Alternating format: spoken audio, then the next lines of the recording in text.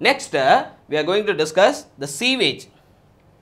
So, sewage is formed from residential, in institutional, commercial, industrial, house waste, liquid like toilets, baths, showers, kitchen and sinks.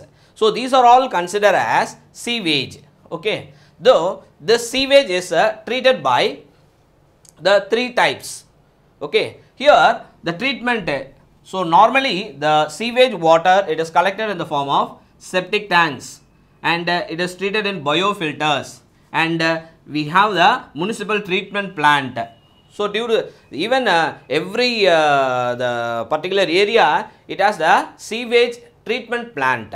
So, they they purified this kind of a waste water. Okay. So, the three types of the treatment.